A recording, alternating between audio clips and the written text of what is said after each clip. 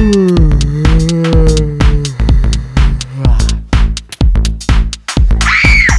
was ist denn? Was ist denn los? Ich habe Geister gesehen. Es gibt keine Geister. Doch, aber ich habe sie gesehen. Es gibt Unerklärliches, aber es gibt keine Geister. Wirklich an Geister glaube ich nicht, sondern nur, wenn ich an was glaube, dann glaube ich an den Heiligen Geist, also dass Gott immer in der Form des Heiligen Geistes zu uns sprechen kann. Also ich glaube nicht an Geist, aber ich glaube an Gott und halt an Dinge, die übernatürlich sind und die man nicht erklären kann. Also ich finde, dass die ganzen Geistergeschichten leider Angstmacherei sind. In der Pfarrer sagt Theresa habe ich gelernt, dass es eigentlich nur den Heiligen Geist gibt.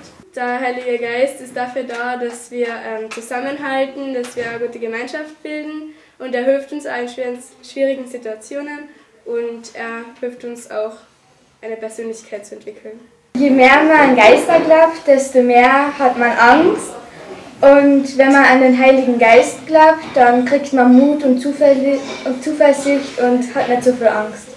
Wenn du an einen positiven Geist glaubst, kriegst du eine positive Einstellung. Aber wenn du an einen negativen Geist glaubst, dann ist es halt so, dass du mehr Angst hast vor der Welt. Jeder Mensch ist selber verantwortlich, aber sich positiv oder negativ entwickelt und welchen Geist er in die Welt tragt. Also aber den Heiligen Geist in die Welt tragt oder den schlechten Geist.